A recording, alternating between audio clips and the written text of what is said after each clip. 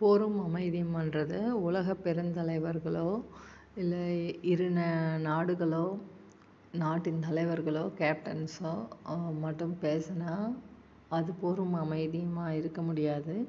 ஒவ்வொரு மனிதனுக்கும் போரும் ஏன் நடக்குதுன்னு தெரியணும் அமைதியும் ஏன் வரணும்னு தெரியணும் அதுக்கான வழிமுறைகளும் தெரிகிறப்ப தான் இது வந்து போரும் அமைதியும் நிரந்தரமான சாத்தியங்கள் ஏற்படும்னு எனக்கு தோணுனதால் இந்த வீடியோவில் இதை பற்றி சொல்ல வந்திருக்கேன். நன்றி.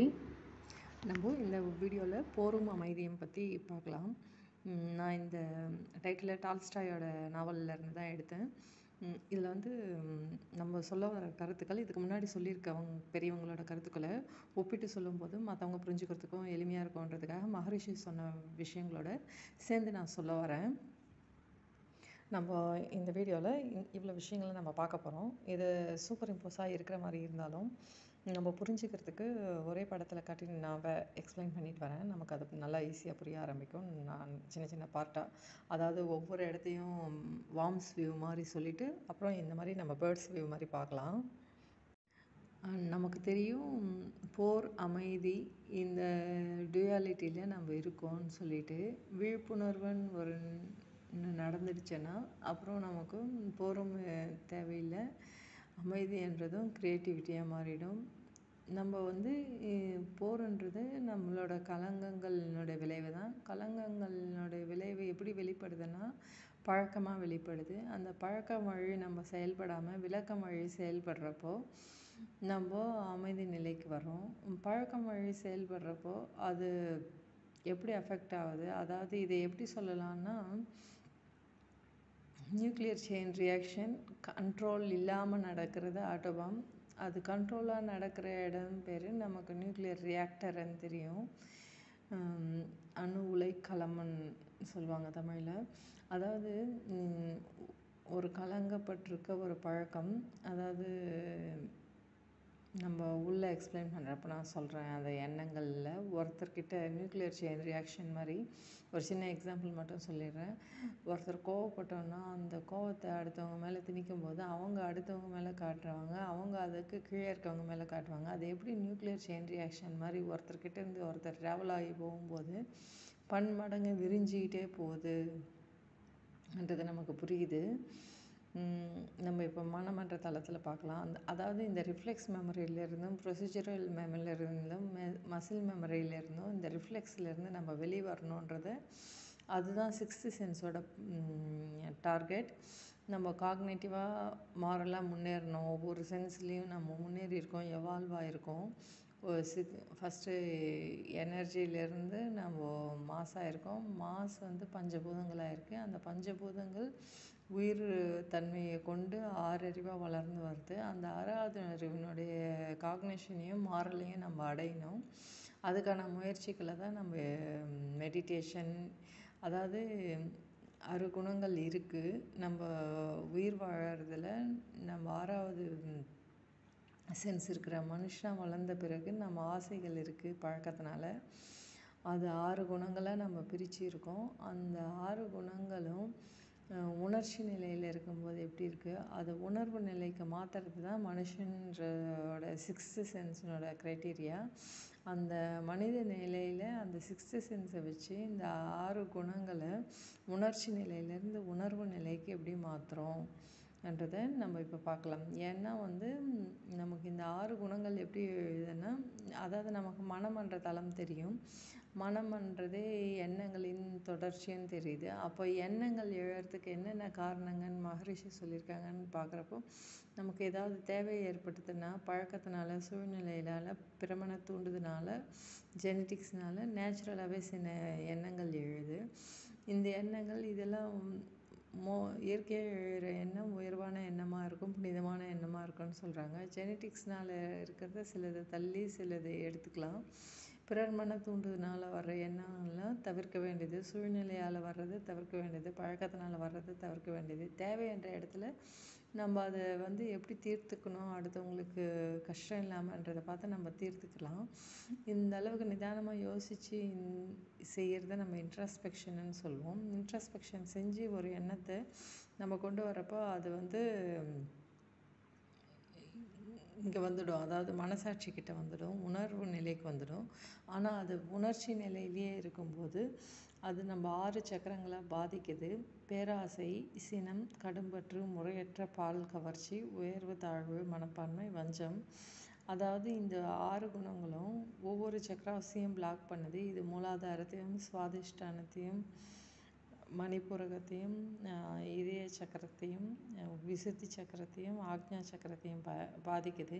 இந்த குணங்கள் அந்த இந்த கலங்கங்கள் வழியாக தான் நம்ம செயல்படுறோம். இந்த கலங்கங்கள் வந்து சப்கான்ஷியஸ் மைண்டில் இந்த இடத்துல பதிவாயிருக்கிற இது நம்ம அடுத்தவங்க மேலே காட்டும்போது அவங்களுக்குள்ளவும் இதுங்க தூண்டி இந்த கலங்கங்கள் தூண்டி விடப்பட்டு செயின் ரியாக்ஷன் மாதிரி ஆகிடுது ஏன்னா ஒருத்தருக்கு ஒருத்தர் யோசிக்காமல் பீட்டா நிலையில இந்த அஹ், ஆறு குணங்களை சாட்டிஸ்ஃபை பண்ணிக்கிறதுக்காக ட்ரை பண்ணும்போது அது பஞ்சமா பாதகங்கள் செய்யறதுக்கு தூண்டி விடப்பட்டுடுது. அப்படி வாழ்ந்துகிட்ருக்க மனிதன் மனிதன் ஆட்டோபாம் மாதிரி இருக்கும் இது. ஒருத்தர் அந்த அதாவது நம்ம பார்த்தோம் இல்லையா சினம் ஒவ்வொருத்தர் இன்னொருத்தர் மேலே காட்டினா இன்னொருத்தர் இன்னொரு மேலே காட்டுவாங்க. இந்த மாதிரி இது எல்லாமே வந்து ஒரு நியூக்ளியர் செயின் ரியாக்ஷன் மாதிரி ஜாமெட்ரிக்கல் ப்ரோக்ரஷனில் போயிட்டே இருக்கும். அப்படி இல்லாமல் மனிதனாக இருக்கிறவன் இந்த நிலையை தாண்டி இந்த ஆறு குணங்களையும் உணர்ச்சி நிலையிலேருந்து உணர்வு நிலைக்கு கொண்டு வர்றதுக்காக முயற்சி செய்கிறாங்க அந்த முயற்சி செய்யும்போது அந்த எண்ணங்கள் சொன்னோம். மனம் என்றாலே எண்ணங்கள்னு சொல்கிறோம் எண்ணம் தோன்றதுக்கு காரணங்கள் சொன்னோம். காரணங்கள் இந்த எண்ணங்களை ப்ராசஸ் பண்ணுறப்போ உணர்ச்சி நிலையிலேருந்து ப்ராசஸ் பண்ணால் இந்த மாதிரி ஆகுதுன்னு சொல்கிறோம் நம்ம ஹார்மோன்ஸ் இம்பேலன்ஸ் ஆகும் சக்ராஸ் இம்பேலன்ஸ் ஆகும். இது மூலயமா நமக்கு எந்த குணங்கள் பாதிக்கப்பட்டிருக்குன்னு நம்ம தெரிஞ்சுக்கலாம். எந்த நோய்கள் என்றது மூலயமா கூட நமக்கு இருக்குன்றது மூலயமா என்ன குணங்கள் பாதிக்கப்பட்டிருக்குன்னு தெரிஞ்சுட்டு அதுக்கான சிந்தனை மூலமாக காக்னிஷன் மூலயமா இன்ட்ராஸ்பெக்ஷன் மூலயமா எண்ணத்தை எண்ணத்தால் ஆராயறது மெட்டா காக்னிஷன் மூலயமா தான் நம்ம இந்த நோய்கள்லேருந்து விடுபட முடியும். இந்த எல்லாமே இந்த அறுகுணங்களும் நமக்கு இந்த ரிஃப்ளெக்ஸ் மெமரினால் கலங்கங்கள்னால பழக்கத்தினால உயிர் வாழறதுக்கு மற்ற ஐ ஐந்தாம் நிலை அறிவு இருக்கிறவர்களும் இருந்தப்போ எடுத்த முயற்சிகள்னால வந்தது. அதனால் அந்த உயிர் வாழ்தல் என்ற சர்வைவலுக்காக அது நடக்கிறப்போ தப்பாக இல்லாதது எவல்யூஷனுக்காக வாய்ப்புகள் இருக்கிற சிக்ஸ்த்து சென்ஸில் வரப்போ அது தப்பாகுது. அதை தப்பை திருத்திக்கிறதுக்கான வாய்ப்பு இருக்கிறப்ப தான் அது தப்புன்னு நம்ம சொல்கிறோம் அப்போ அந்த வாய்ப்புகள் என்னன்னு நம்ம பார்க்குறோம் அந்த வாய்ப்புகளை நம்ம பயன்படுத்தி நம்மளை திருத்திக்கிறப்போ இந்த அருகுணங்கள் நிறைகுணங்களாக மாறுது. அப்படி நிறைகுணங்களாக மாறுறதுக்கான வாய்ப்புகளை நம்ம இப்போ பார்க்கலாம் பயிற்சிகளை பார்க்கலாம். மகரிஷி இந்த மனத்தை பற்றி சொல்கிறப்போ மனதின் பத்து படிநிலைகள் சொல்லியிருப்பாங்க. அதாவது தேவை தேவைன்றது மூலயமா ஒன்று நிறைவு செய்ய போகிறப்போ அனுபவம் அனுபவம் அப்படி ஒரு பத்து படிநிலைகள் சொல்லியிருப்பாங்க. அதை நிறைவு செய்யறதுக்கான முயற்சி செய்கிறப்போ ஆராய்ச்சி செஞ்சு தெளிவு முடிவு பண்ணி நம்ம இயங்க ஆரம்பிக்கணும்னு. அதாவது எண்ணத்தை எண்ணத்தால் ஆராய்ந்து அது செயல் விளைவை கணிச்சு அது தனக்கோ பிறருக்கோ எக்காலத்துக்கும் நல்ல விஷயமா முடியணுன்றதுக்காக சொல்லியிருப்பாங்க. அப்படி ஒவ்வொரு விஷயத்தையும் நமக்கு எழுகிற ஆசை சினம் கவலை இதெல்லாம் நம்ம ஆராய்ச்சி பண்ணுறப்போ நம்ம எண்ணத்தை எண்ணத்தால் ஆராய்ந்து இந்த நிலைக்கு வரோம் அதுக்கு முன்னாடி நம்ம மெடிடேஷன் பண்ணுறோம் அதுக்கு முன்னாடி நம்ம உடற்பயிற்சி எல்லாம் பண்ணுறோம் உடற்பயிற்சி செஞ்சு உட்காரும்போது தான் புலன் கட்டுக்குள்ளே வரும். மெடிடேஷன் செய்யும்போது நம்ம வெளிய புலன்கள் வழியே செயல்படாமல் ஒரு இடத்துல உட்கார ஆரம்பிக்கிறோம்.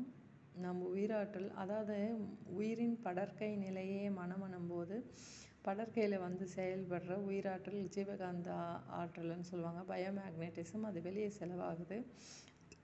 அது ஒடுங்குறப்போ அந்த நம்ம உடம்புக்குள்ளேயே ஒடுங்குறப்போ நம்ம உயிர்லேயே ஒடுங்குற நிலை ஏற்படுது நம்மளோட நுண்மைத்தன்மை அதாவது வெளியில் விரிஞ்சு விரிஞ்சு கண் வழியாக இந்த ராட் ஸ்பேஸை பார்த்துட்டு இருந்த நம்ம ஜீவகாந்தம் நமக்குள்ளே ஒடுங்கும்போது நுண்மையாக நமக்குள்ளே உள்ளே உள்ளே போகிறதுக்கான தன்மை ஏற்படுது. உள்ளே உள்ளே போகிறப்ப தான் வெளியில் விரிஞ்சு விரிஞ்சு போகிறப்ப அடுத்தவங்கள பார்க்குது உள்ளே விரி சுருங்கி சுருங்கி போகிறப்ப உயிர் மேலே அதாவது உணர்ச்சி நிலையிலேருந்து உணர்வு நிலையிலேயே நிலை பெறுது.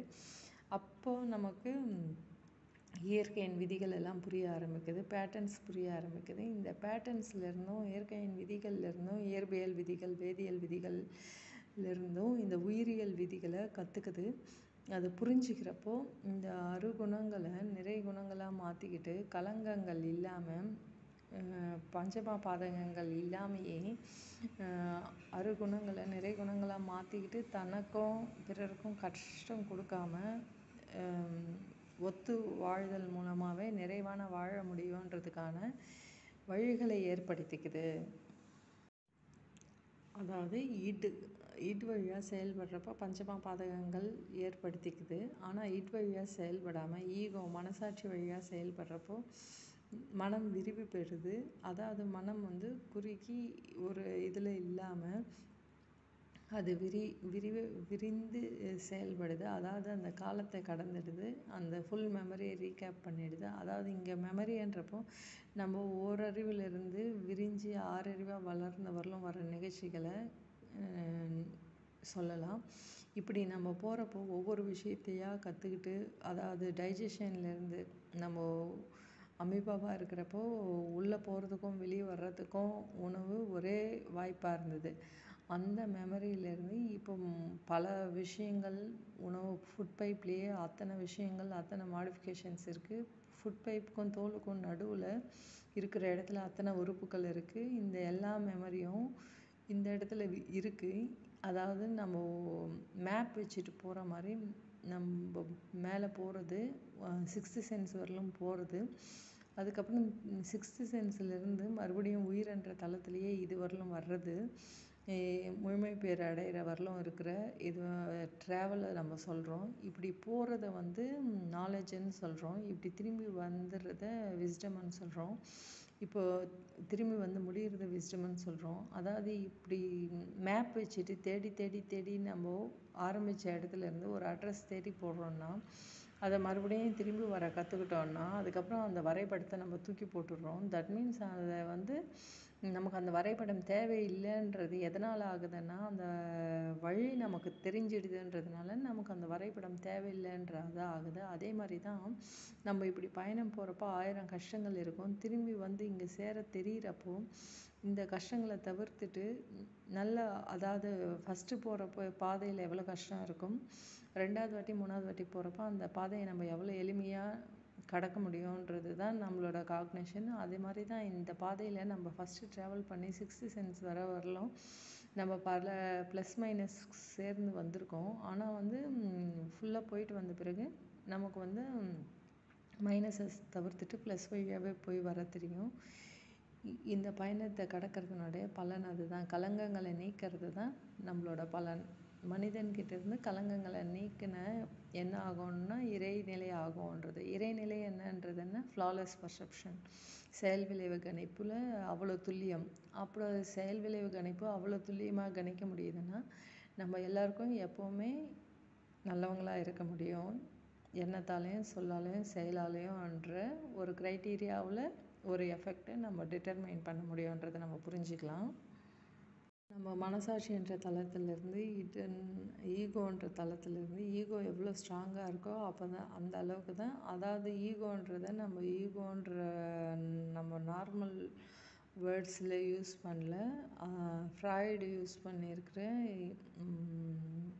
மனசாட்சி என்ற தளத்திலிருந்து ஈகோ எவ்வளோ ஸ்ட்ராங்காக இருக்கோ அப்போ தான் அந்த மனசாட்சி எவ்வளோ ஸ்ட்ராங்காக இருக்கோ அதுக்கேற்ற மாதிரி தான் நம்ம இட்டை கண்ட்ரோல் பண்ண முடியும். அதாவது ஈட்டுக்கு விளக்கம் சொல்லி கலங்கங்களுக்கு விளக்கம் சொல்லி நீக்க முடியும். கலங்கங்கள் எப்படி விளக்கங்களாவது பழக்கங்கள் எப்படி விளக்கங்களால் நீக்கப்படுதுன்றது நம்ம ஈகோவை பொறுத்து ஈகோன்றது மனசாட்சி என்ற அடிப்படையில் தான் நம்ம இப்போ பேசிகிட்ருக்கோம் அதன் அடிப்படையில் நம்ம மனம் விரிவு பெற்று உயிர் உயிர்லேயே நிலைச்சிருக்கிற அளவுக்கு பயோமேக்னட்டிசம் இந்த அறுகுணங்களில் நெகட்டிவ் சைடு வேஸ்ட் ஆகாமல் நுண் விரி நெகட்டிவ் சைடு வேஸ்ட் ஆகுதுன்னா அது வெளியில் போகுதுன்னு அர்த்தம். மனம் பலதோறும் வெளியில் நம்மளை விட்டு கடந்து போயிடுது. பல பல விஷயங்கள் மேலே ஆசைப்பட்டு.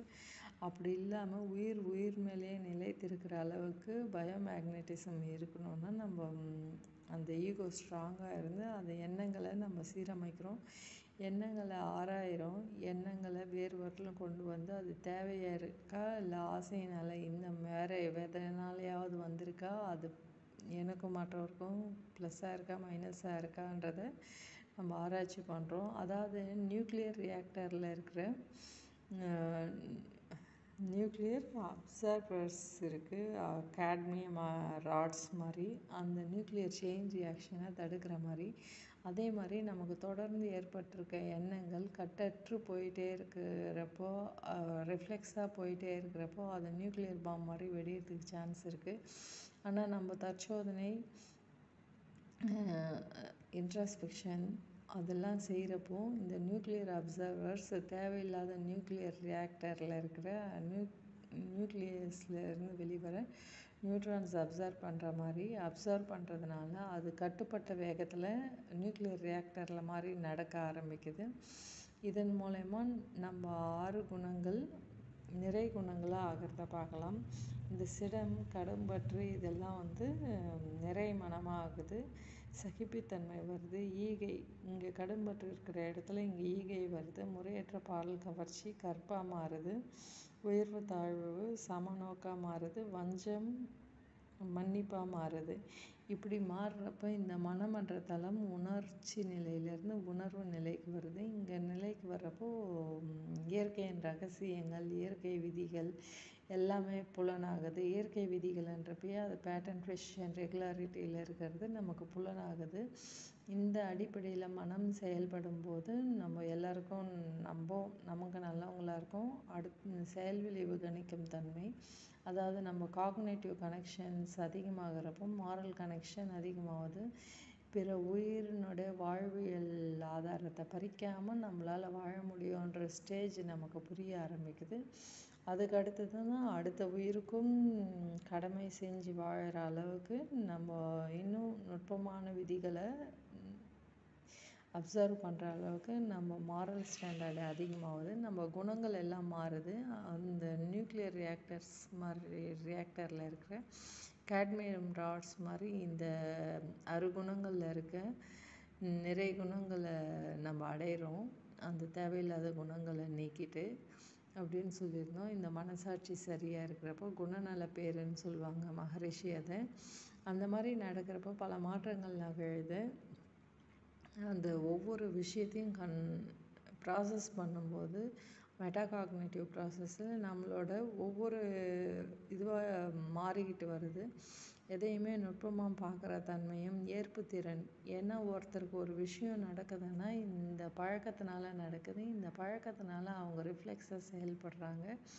அவங்க ரிஃப்ளெக்ஸாக அவங்களுக்குள்ள ப்ராசஸ் பண்ண முடியாமல் ஒரு விஷயத்தை நம்ம மேலே திணிக்கிறாங்கன்னா அதாவது நியூக்ளியர் ரியாக்டரில் இருக்க இந்த ஒரு ஆட்டம்லேருந்து வர மூணு நியூக்ளிய நியூ நியூட்ரான்ஸ் அடுத்தது தாக்கி அடுத்ததுலேருந்து மூணு வர வைக்கிற மாதிரி யார்கிட்ட இருந்தோ ஒரு ஆள்கிட்ட இருந்து வர கோவம் அவங்க கண்ட்ரோல் பண்ணி ப்ராசஸ் பண்ணாததுனால வெளிவிடுற கோவம் இல்லை ஆசையினோட திணிப்பு நம்ம மேலே திணிச்சு நம்ம நாலு பேருக்கு வெளியிடுறோன்றது தொடர் நிகழ்ச்சியாக போகாமல் நியூக்ளியர் ராட்ஸ் மாதிரி இந்த அகத்தாய்வு தவம் இதெல்லாம் பண்ணுறது மூலயமா கண்ட்ரோல் ஆகுதுன்றப்போ நம்ம நியூக்ளியர் ரியாக்டரில் இருக்கிற மாதிரி அந்த ஆற்றலை அணுவினோட அளப்பரிய ஆற்றலை கண்ட்ரோல் பண்ணி யூஸ் பண்ணுறோம் அது பயோமேக்னட்டிசம் மாதிரி நமக்குள்ளேயே யூஸ் ஆகுது.